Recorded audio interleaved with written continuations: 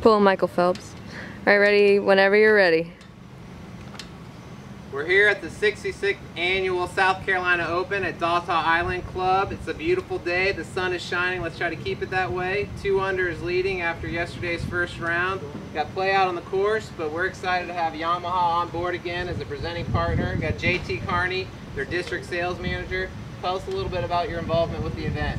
Yeah, Jeff, like you said, this is our third year being a part of the South Carolina Open and third year being out here at Dataw It's been a great facility here at Dataw The staff is great, the course is great, the greens are rolling perfect. So it's been a wonderful event again this year, and we're happy to be a part of it and happy to see it grow into the future.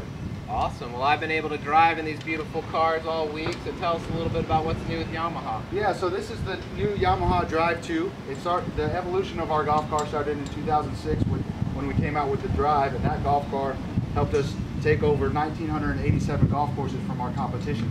So with that, we wanted to keep a lot of the same features and benefits the same, and then enhance some other ones. So we came out with the Drive 2 last summer, and I'd love to tell you more about it, walk you through everything here, but this is a little bit of a short video, so please contact your local rep, either myself, Chris, or Parker, and we'd love to take you through a, a demo and show you all the new things specifically.